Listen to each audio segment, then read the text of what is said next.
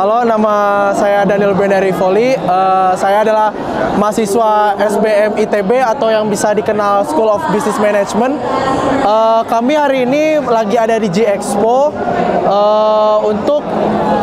bisa dibilang kita membawa uh, banyak UMKM-UMKM yang ada di Jawa Barat. Salah satu contohnya itu adalah Umisari yang kelompok kami bawa.